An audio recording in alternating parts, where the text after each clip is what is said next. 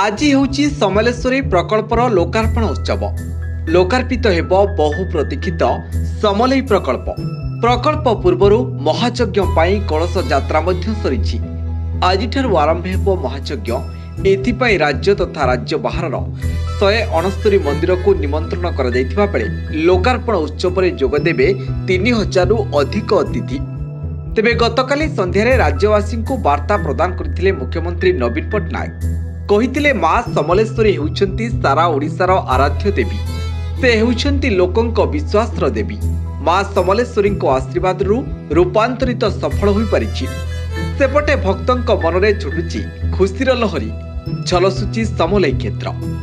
ପଶ୍ଚିମ ଓଡ଼ିଶାର ଅଧିଷ୍ଠାତ୍ରୀ ଦେବୀ ସମ୍ବଲପୁରର ମା ସମଲେଶ୍ୱରୀଙ୍କ ରୂପାନ୍ତରିତ ମନ୍ଦିର ଓ ପରିକ୍ରମା ପ୍ରକଳ୍ପ ଲୋକାର୍ପିତ ହେବ। ସେପଟେ ଏହି ପ୍ରକଳ୍ପ ଚାଳିଶ ଏକର ଜମିରେ ପ୍ରାୟ ଦୁଇଶହ କୋଟି ଟଙ୍କା ଖର୍ଚ୍ଚରେ ମା ସମଲେଇ ପୀଠର ବିକାଶ କରାଯାଇଛି। ଭକ୍ତଙ୍କ ସୁବିଧା ଲାଗି ସମସ୍ତ ବ୍ୟବସ୍ଥା କରାଯାଇଛି। ଭୋଗମଣ୍ଡପ ପୁରୋହିତଙ୍କ ବିଶ୍ରାମ ଗୃହ ମନ୍ଦିରର ଚାରିପାର୍ଶ୍ୱରେ ଐତିହ୍ୟ ଦ୍ୱାର ଶ୍ରଦ୍ଧାଳୁମାନେ ପୀଠର ମୁଖ୍ୟ ଦ୍ୱାର ଦେଇ ପ୍ରବେଶ କରିବେ ଓ ଅନ୍ୟ ତିନି ଦ୍ୱାର ଦେଇ ପ୍ରସ୍ଥାନ କରିବେ। ଆଉ ଯାହା ଫଳରେ ଶହ ଶହ ବର୍ଷ ପର୍ଯ୍ୟନ୍ତ ଭକ୍ତଙ୍କୁ ଅସୁବିଧା ଭୋଗିବାକୁ ପଡ଼ିବନି। ପ୍ରକଳ୍ପରେ କଳା ସଂସ୍କୃତି ଓ ଭାସ୍କର୍ଯ୍ୟ ଦେଖିବାକୁ ମିଳୁଛି। ମାଙ୍କର ପୂଜା ସୁବିଧାରେ କରିପାରିବେ। ସେଥିପାଇଁ ସବୁଠାରୁ ବେଶୀ ଧ୍ୟାନ ଦିଆଯାଇଛି।